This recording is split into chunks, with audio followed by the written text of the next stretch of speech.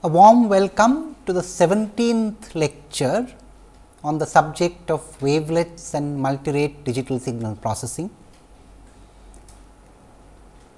We build in this lecture a very important principle. In fact, in some senses, the principle that lies at the heart of the subject of wavelets and time frequency methods, namely the uncertainty principle.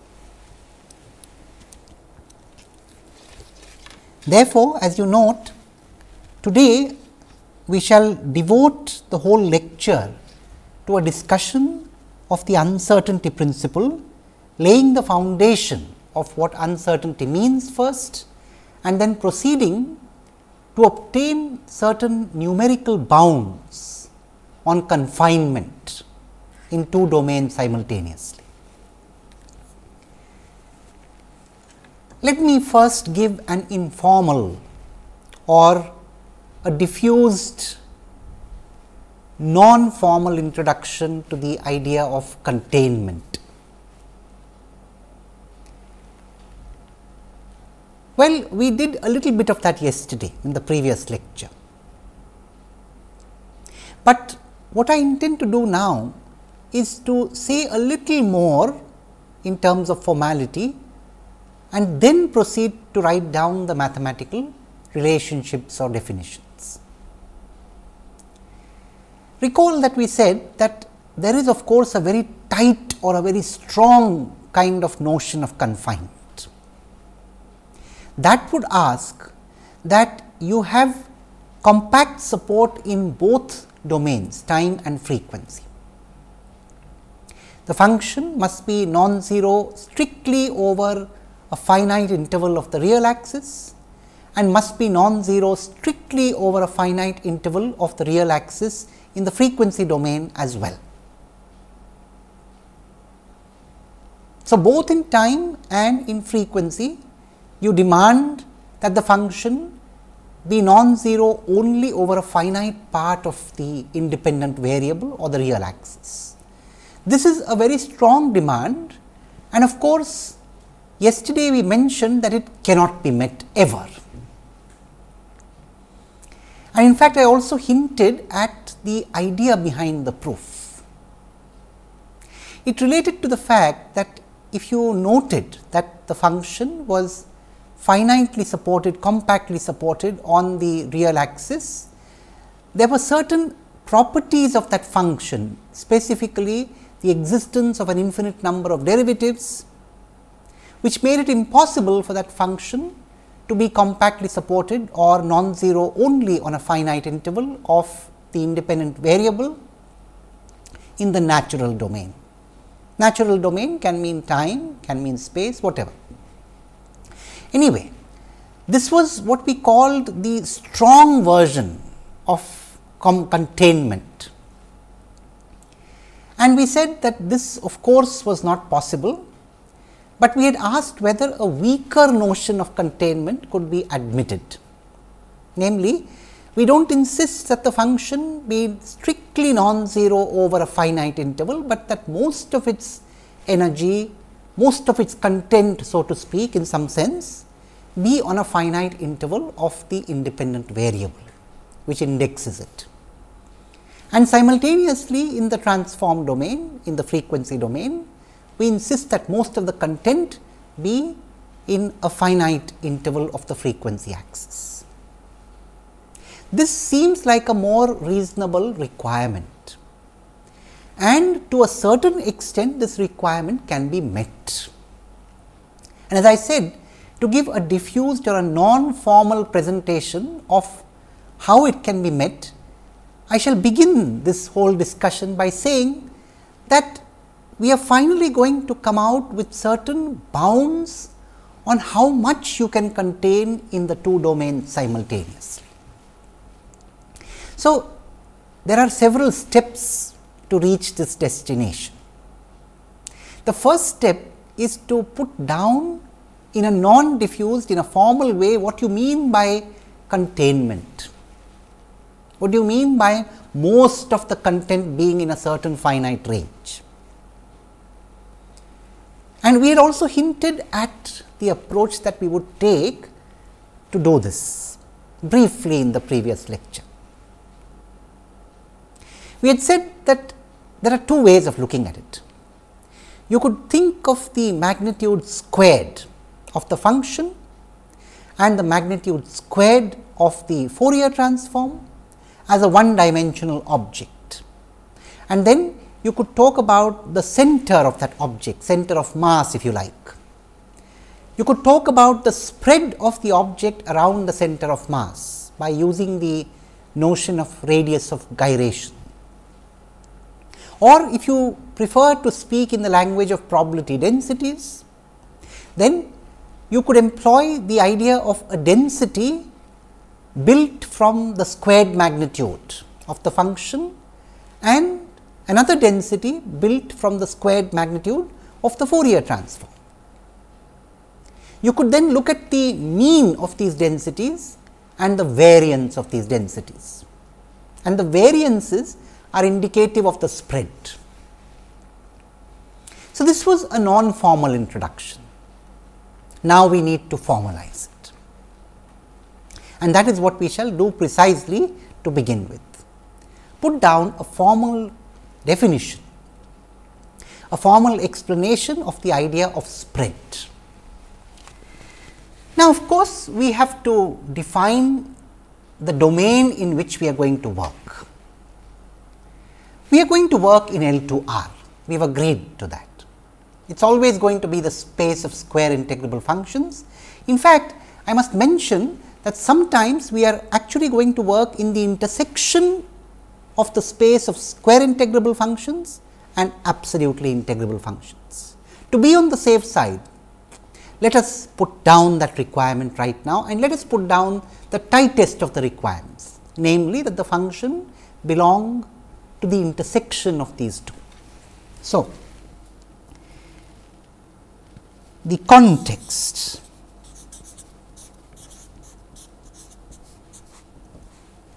consider a function let us say x of t which belongs to the intersection of L 2 r and L 1 r.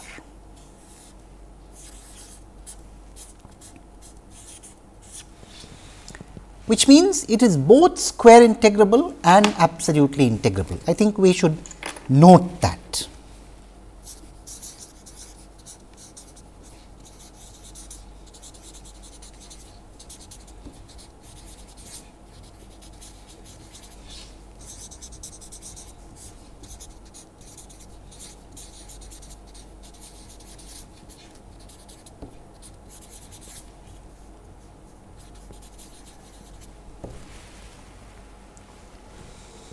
All right. Now, because the function belongs to L 2 R, we are sure that its Fourier transform also belongs to L 2 R.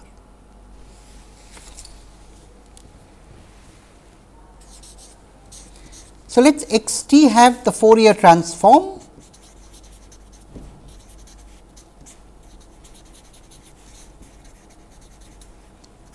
x cap capital omega. And we know that capital X, I mean x cap of capital omega belongs to L 2 R as well.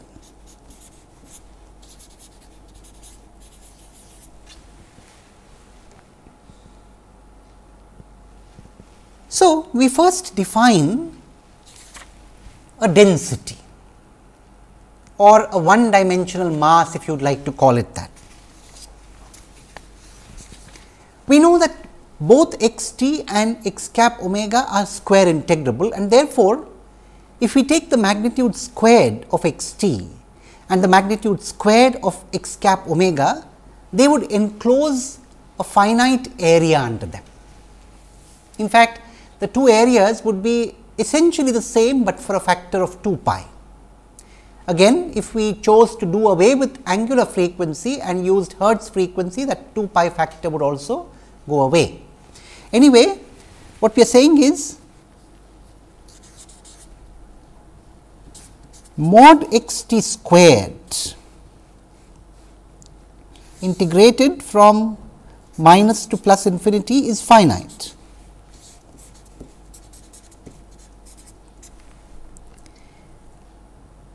Let us in fact use the standard notation for this. The norm of x in L 2 r the whole squared and therefore, define a density P x given by mod x t squared divided by the norm again squared. Now, a few remarks and in fact, we should write them down one by one. P x t as we have defined it, namely mod x t squared by the norm in L 2 R of x the whole squared is a probability density.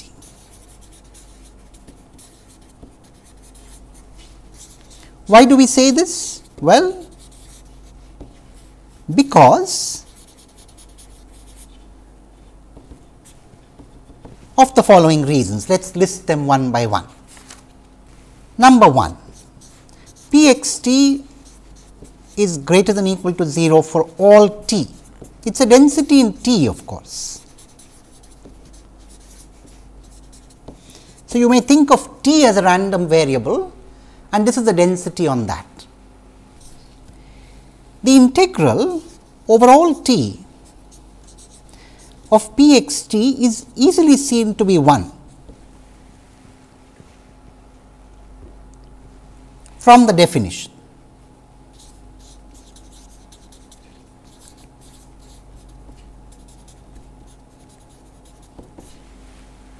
Essentially, the integral of p x t over all t would in the numerator again have the L 2 norm of the function x and of course, the denominator is indeed the L 2 norm of the function x of course, both squared the numerator and denominator and therefore, they would cancel out to give 1.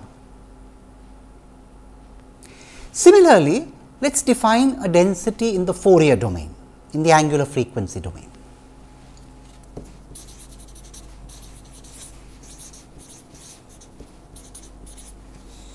And there we shall write p x cap as a function of omega to be mod x cap omega squared divided by the norm of x cap squared.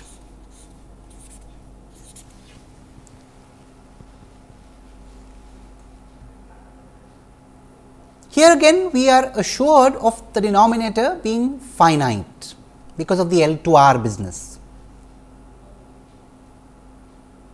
So, again we shall for completeness and formalism note that this is a probability density.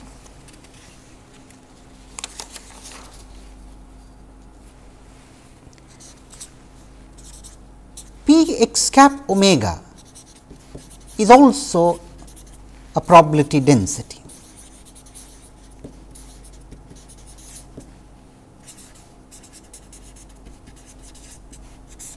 Indeed, p x cap omega is greater than equal to 0 for all omega. It is a density in omega.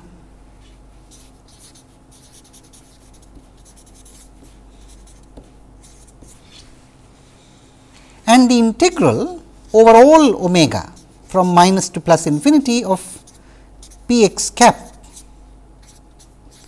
is 1 that is also easy to see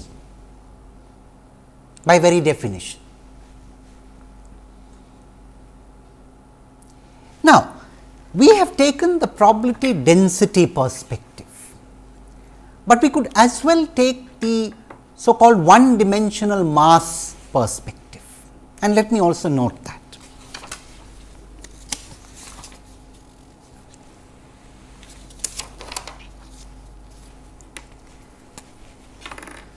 One could also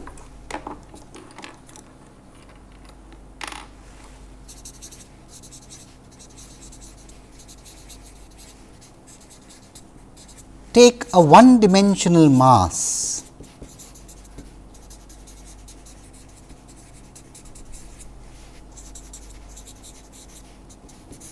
perspective.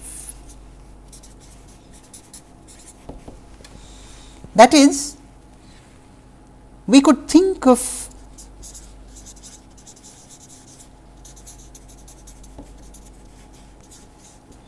P x t as a 1D mass in T.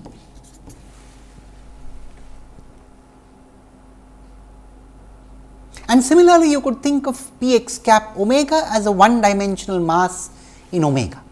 So, what I am saying is all of us or all the objects around us are masses in three dimensional space. So, here we have a simplified situation. You have a mass in one dimensional space. That one dimensional space can be the space of t or the space of capital omega. Similarly, as I said p x cap omega is a one dimensional mass.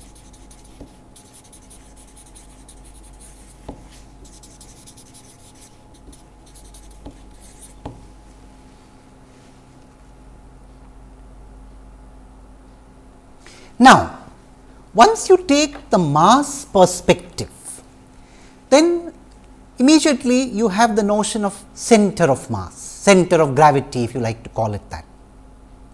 And when you take a probability density perspective, you have the notion of mean. Either of them is okay, they are equivalent. So, let us make a note of that. If we choose the mass perspective,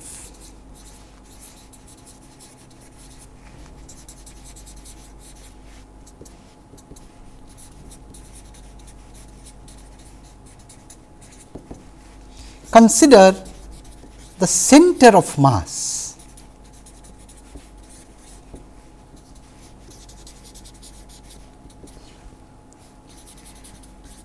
and spread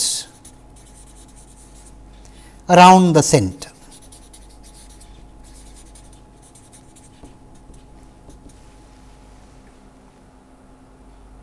Now, incidentally as I said the spread around the center in mechanics is often measured by a quantity called the radius of gyration.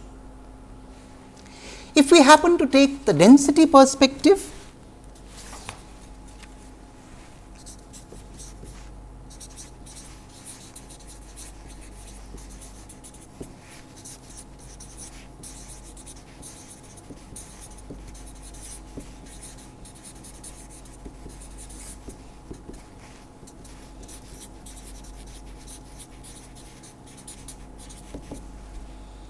Consider the mean and the variance.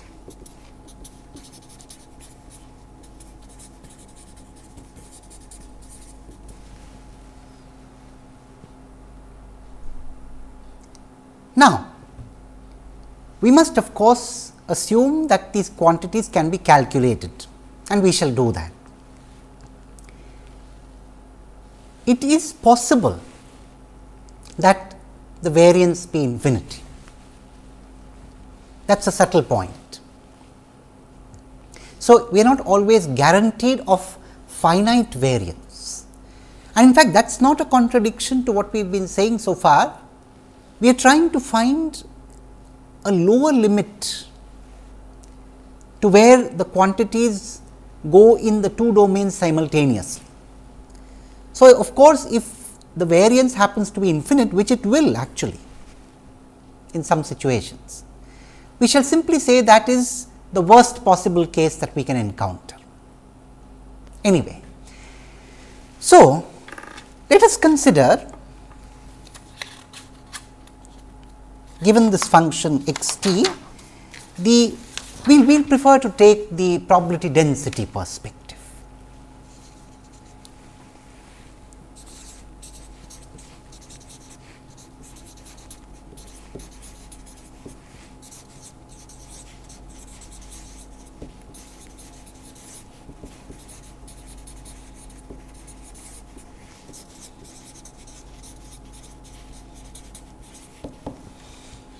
So, we will think of p x of t and p x cap of omega as probability densities.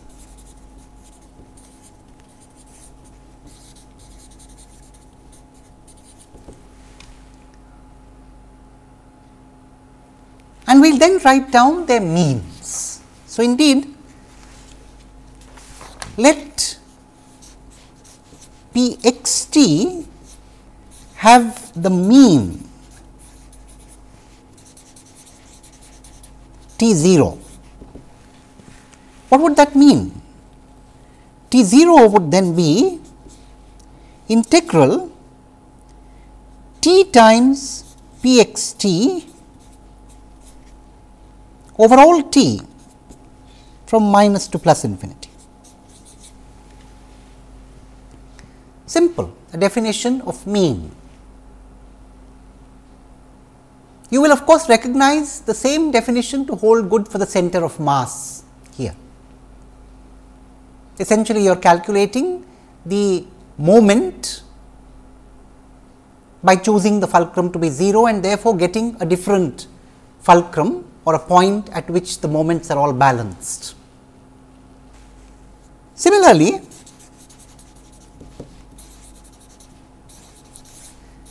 let p x cap omega have the mean omega naught, whereupon omega naught would be integral from minus to plus infinity omega p x cap omega d omega.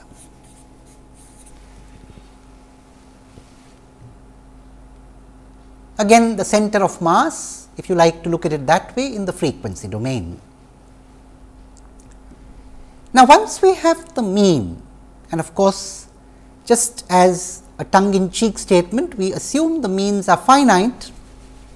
Normally, they should be in some pathological situations we may have a problem. We are not looking at those pathological situations.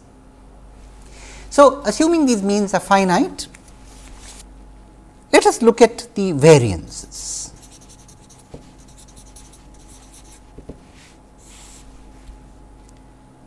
So, the variance in t would then be given by and we will define it to be sigma t squared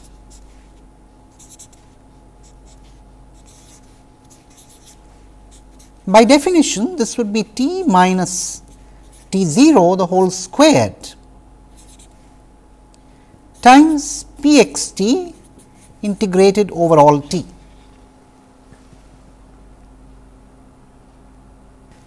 And similarly, we could talk about the variance in frequency. So, variance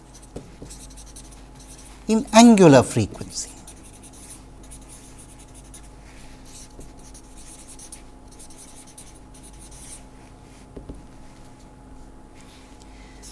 Sigma omega squared is integral from minus to plus infinity omega minus omega naught the whole squared p x cap omega d omega.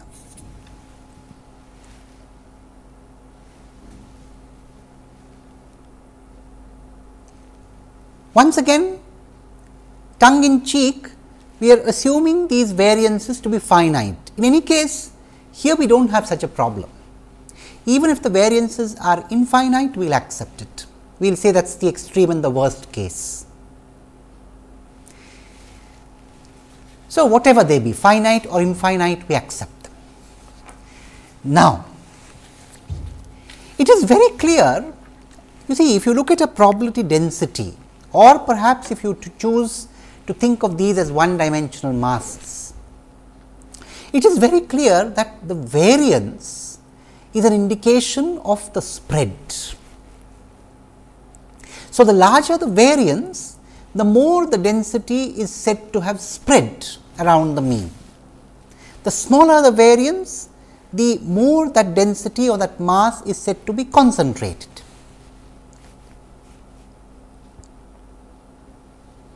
So, now we have a formal way to define containment. In fact, we shall now make a very simple definition. We will say containment in that particular domain refers to the variance or if you like the square root of the variance, positive square root of course. So,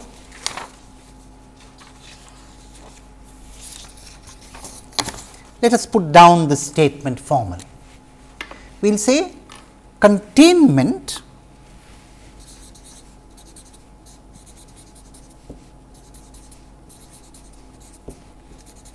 in a given domain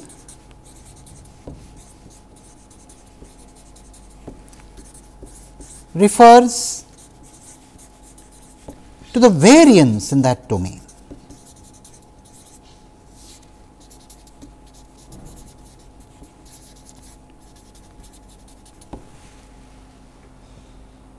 So, containment in time is essentially the sigma t squared quantity and containment in angular frequency is essentially the sigma omega squared quantity. Now, we ask ourselves how small can we make any one of these quantities for a function, for a valid function. And in a few minutes, we will be convinced that there is really no limit. In fact, let us take the Haar scaling function as an example. Let us calculate the variance.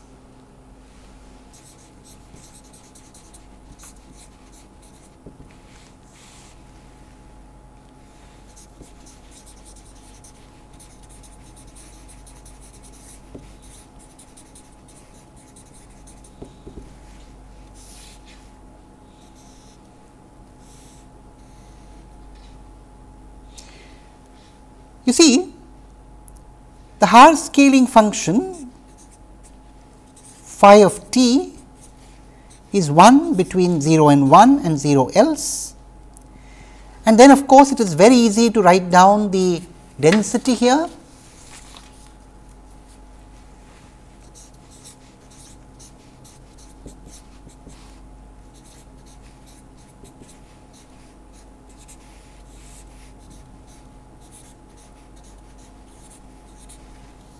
it is very easy to see that the squared norm in L 2 R of phi is 1.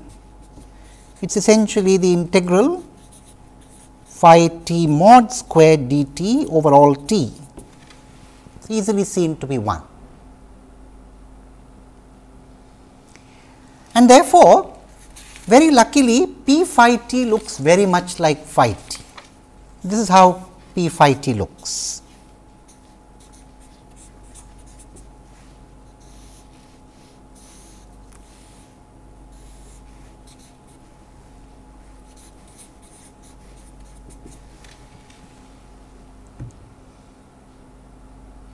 Our job is easy.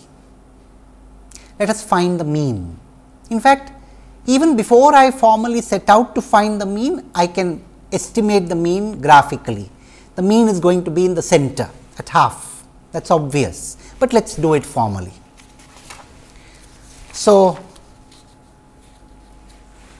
T 0 would be integral T p phi t dt over all t. And this essentially amounts to integral t dt from 0 to 1.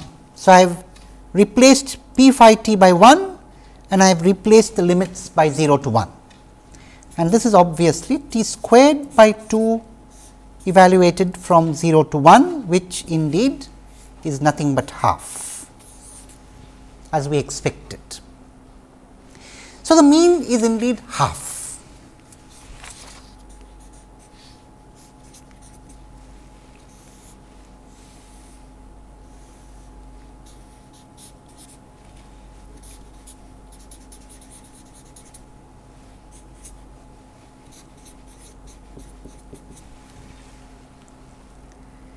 Now, we need to calculate the variance. That is a little more work, but not too much.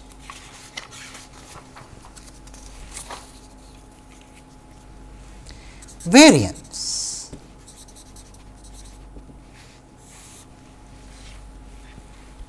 Indeed, the variance would be given as t minus half the whole squared times p phi t dt over all t. And once again noting that p phi t is 1 only between 0 and 1 and 0 else, we can rewrite this to get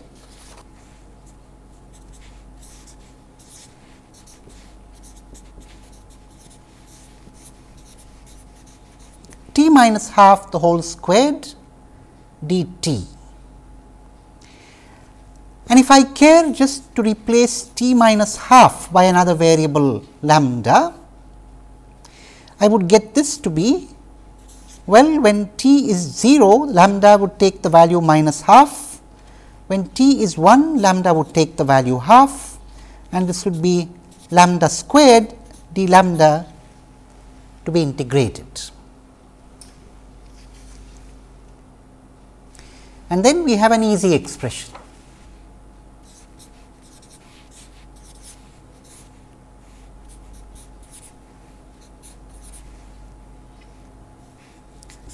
So, that is half cubed by 3 minus of minus half cube by 3.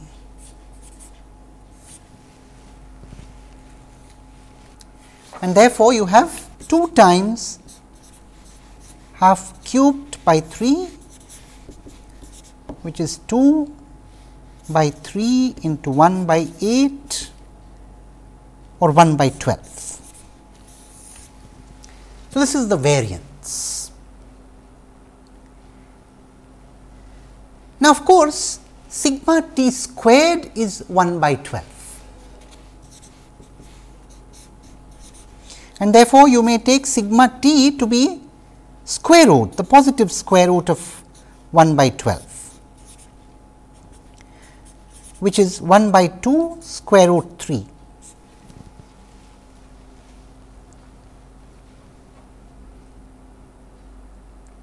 As you can see sigma t is less than half. So, in a certain sense we do not really use the number half to denote the spread of phi t around its mean. The variance does not say it goes all the way to half, it says the spread is a number slightly less than half most of the energy is contained in that region around the mean captured by the variance. In fact, if you wish to be very specific, the fraction of the energy contained here would be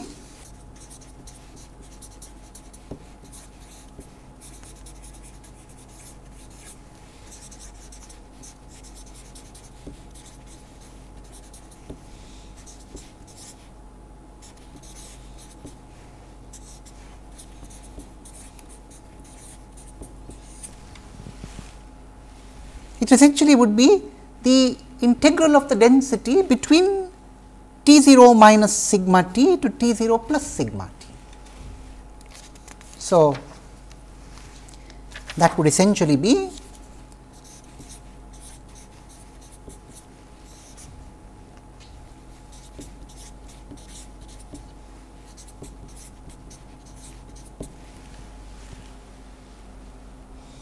Now, I do not really intend to calculate this quantity for this case, it is a very simple calculation, of course, integrated with respect to t. But what I am trying to emphasize is that we are not asking for 100 percent here. We are not saying tell me the region over which 100 percent of the energy lies, that region could very well be the whole real axis. We are saying well at least a significant part of it. Now, in this particular case, maybe it is a good idea to actually calculate it. How much is this really? So, it is actually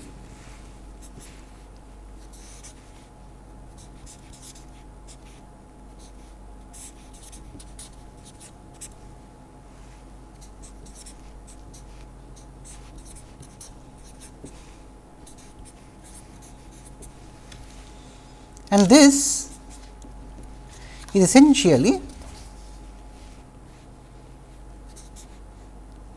so it's t evaluated from half minus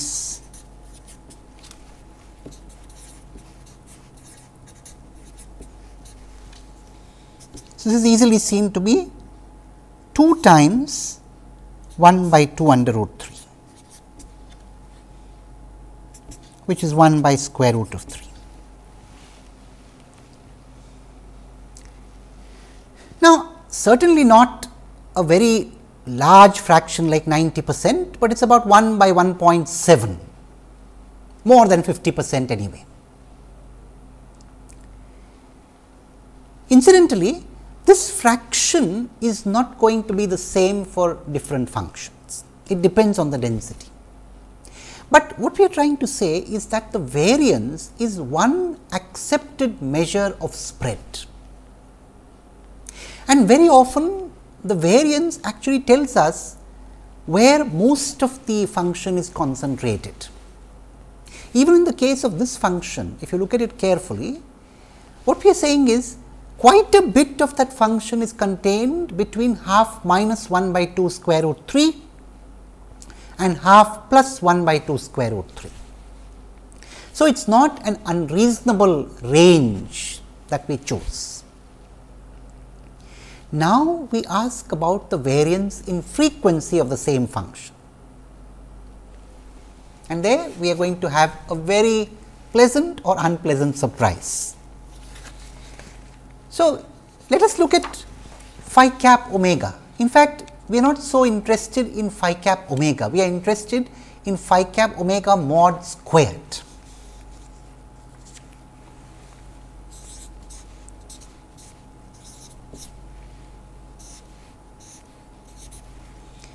And that has the form essentially sine omega by 2 by omega by 2 the whole squared mod.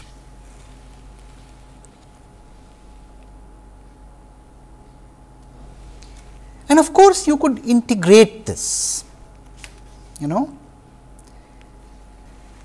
Indeed, as you know, the integral of phi cap omega mod squared d omega divided by 2 pi would essentially be the norm of phi L 2 r norm of phi the whole squared which is easily seen to be 1 and therefore, integral phi cap omega the whole squared d omega over all omega of course is essentially 2 pi.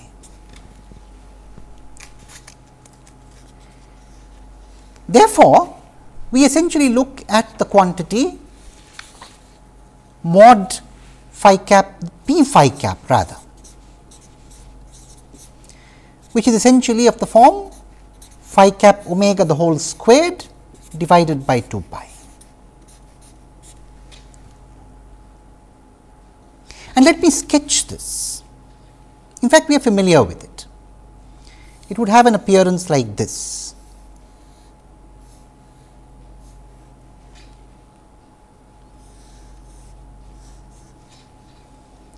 this is 0, this is 2 pi, 4 pi and so on and so forth. We know this, we have been doing this more than once.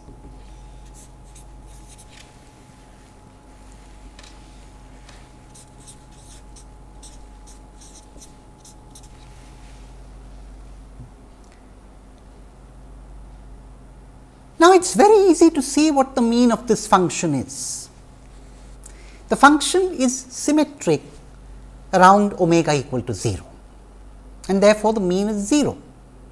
By the way, this is not a surprise.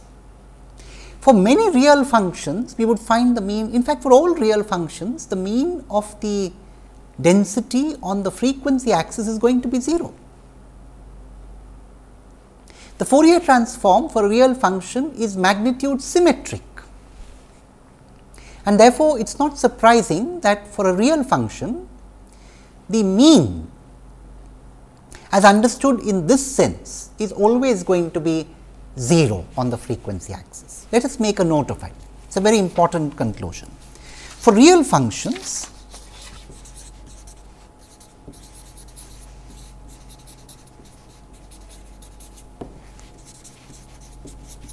x cap omega is magnitude symmetric.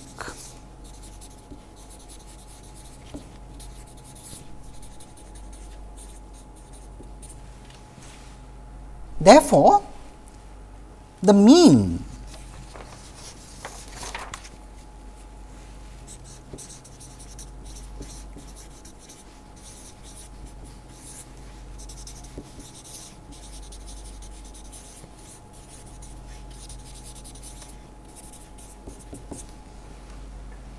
0.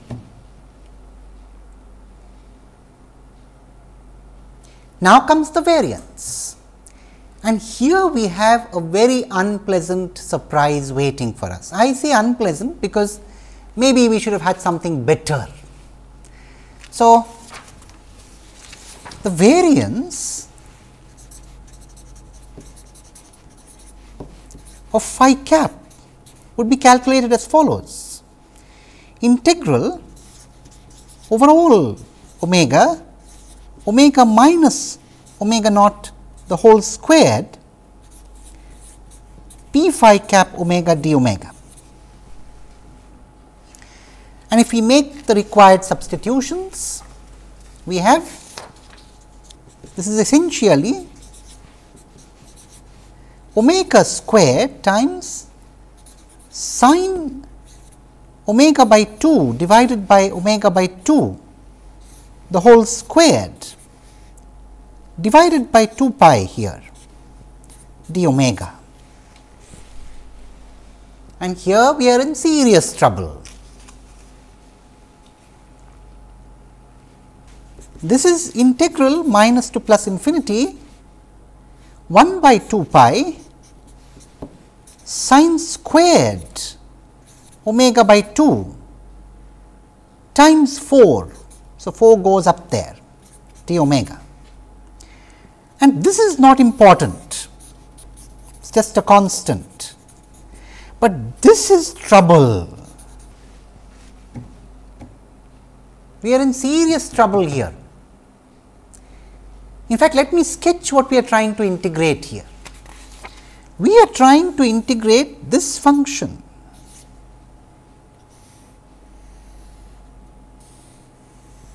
a periodic function with a period of 2 pi sine squared omega by 2.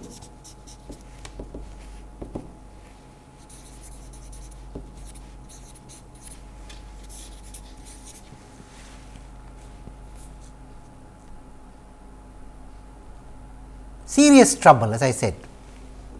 We are trying to integrate a periodic function from minus to plus infinity and obviously that integral is going to diverge. So, the fear that we had when we started on our discussion with variances comes out to be true right in the very simplest case of a scaling function that we know. The variance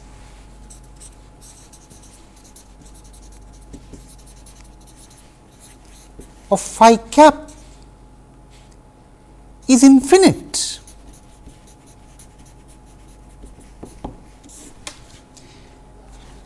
In other words, phi t is not at all confined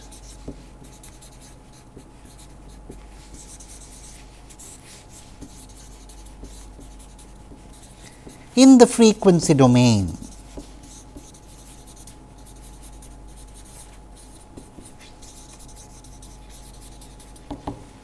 At least in this sense.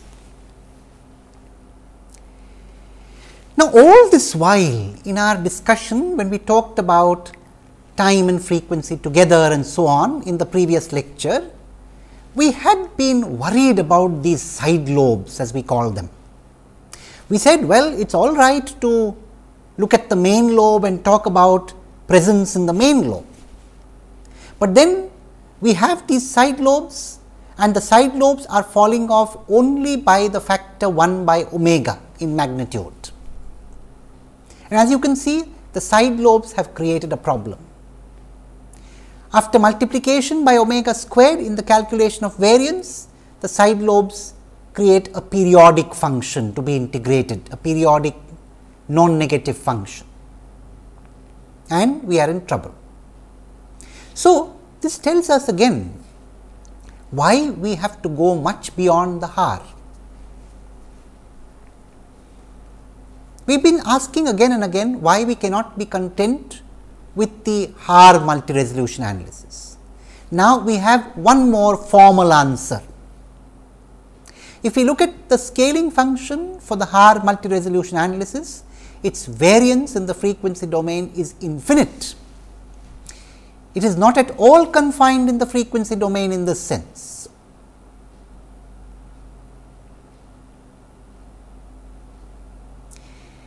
Now,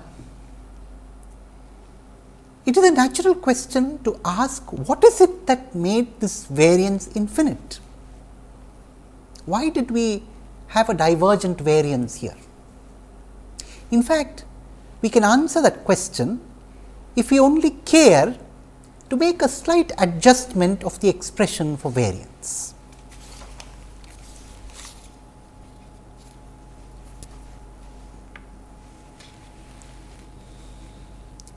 The variance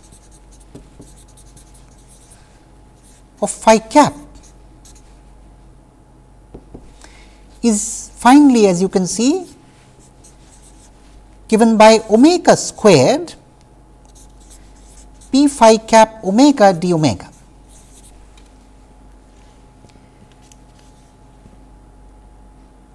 And this can be written as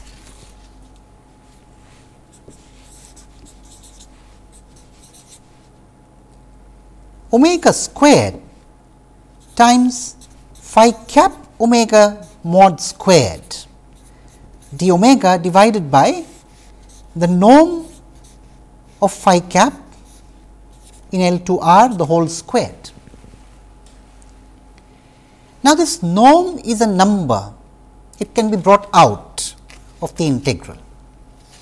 So, I can rewrite this as 1 by norm of phi cap squared integral and I will also do a little bit of rearrangement in the integral. I will write the integral as j omega phi cap omega the mod whole squared d omega.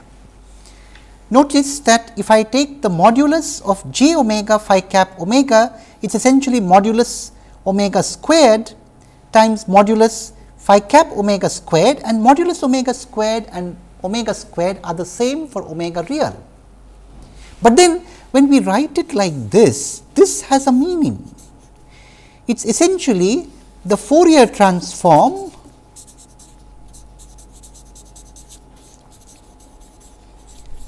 of d phi t dt.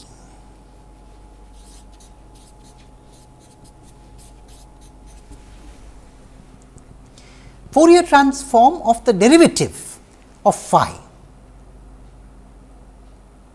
So, essentially what we are saying is this variance is actually the energy in the derivative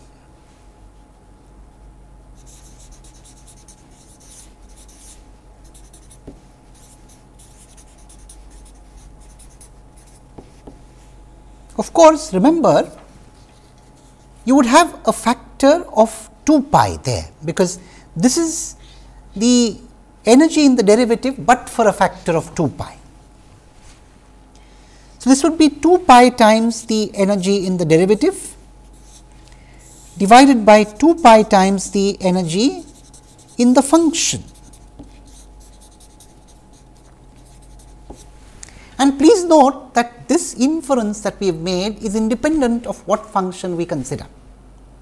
As long as the function is real, the variance in frequency is going to be this ratio, the energy in the derivative divided by the energy in the function. Let us make that remark.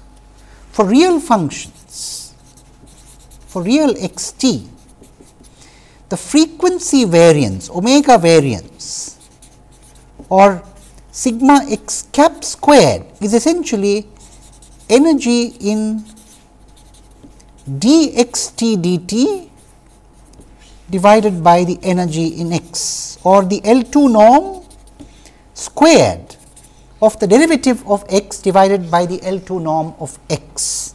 And now, we have the answer why we ran into a problem for phi t. As you can see phi t is discontinuous. So, when its derivative is considered there are impulses in the derivative and impulse is not square integrable and therefore, the numerator of this quantity diverges if you look at it from that perspective. The moment we have a discontinuous function, we have an infinite frequency variance and there we are.